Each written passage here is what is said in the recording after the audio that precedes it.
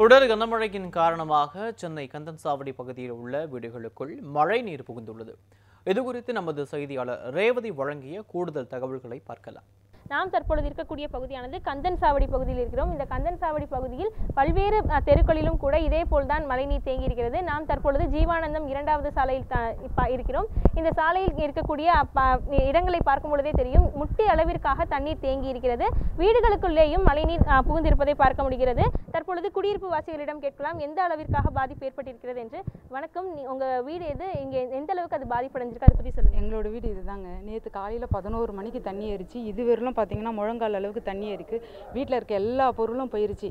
மீட்பு பணி யாரும் வந்து இதுவரையிலும் எங்களை பார்க்கவும் இல்லை. இதுவரையிலும் எங்களுக்கு எந்த ஒரு நிவாரணமும் கிடைக்கல. எங்கே போகிறதுன்னு தெரியல. இப்படி தான் நடந்துகிட்ருக்கு இதுவரையிலும் இந்த செகண்ட் வரையிலும் இப்படி தான் நடந்துகிட்ருக்கு இப்போ தொடர்ச்சியா இந்த மலைக்கு மட்டும்தான் இந்த மாதிரி பிரச்சனை இருந்திருக்கா? இல்ல இதுக்கு முன்னாடி இருந்திருக்கா? நீங்க அதை ஃபேஸ் பண்ணிருக்கீங்களா? ஏற்கனவே முன்னெச்சரிக்கை நடவடிக்கை சொல்லியிருந்தாங்களா?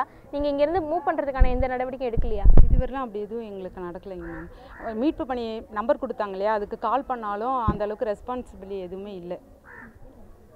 தொடர்ச்சியாக முன்ற முந்தைய காலங்களில் கூட இது போன்ற மழை இருந்தாலும் இந்த அளவிற்கான மழைநீர் தேங்கவில்லை என்று தெரிவித்திருக்கின்றனர். தொடர்ந்து மற்றொரு குடியிருப்பு வாசிகளிடம் கேட்கலாம் வணக்கம். எந்தெந்த மாதிரியான பிரச்சனைகள் இங்க இருக்கு? இங்க அதிகப்படியான குடியிருப்புகள் இருந்துட்டு இருக்கு என்னென்ன பிரச்சனைகள் இங்க ஃபேஸ் பண்றீங்க? உங்களோட தரைத்தளத்துல கூட மழைநீர் தேங்கி இருக்கிறதா சொன்னாங்க. நீங்க எங்கே தங்கி இருக்கிறீங்க உங்க அத்தியாவசிய தேவைகள் இருக்கா? ஆமாங்க. எங்களுக்கு இந்த வீடுங்க. ஃபுல்லாக ஃப்ரிட்ஜு வாஷிங் மிஷின் ஃபுல்லாக நடந்துடுச்சு. இது வரைக்கும் யாரும் ஹெல்ப்பும் பண்ண வரல. எதுவும் கேட்கவும் இல்லை இது வரைக்கும். ஓட்டு வாங்குறதுக்கு மட்டும் கேட்கறதுக்கு மட்டும் எல்லாம் வராங்க. மற்றபடி எதுக்குமே வந்து இது வரைக்கும் எட்டி கூட பார்க்கல யாருமே வந்து.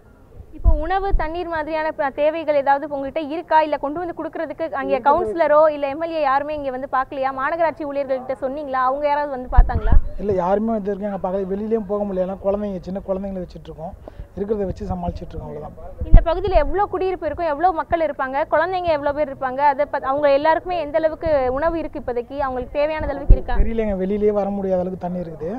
இப்போ இருக்கிறத வச்சு எல்லாம் சமாளிச்சுட்டு இருக்காங்க. பால் பாக்கெட் கூட மெயினாக கிடைக்க மாட்டேங்குதுங்க இப்போதைக்கு.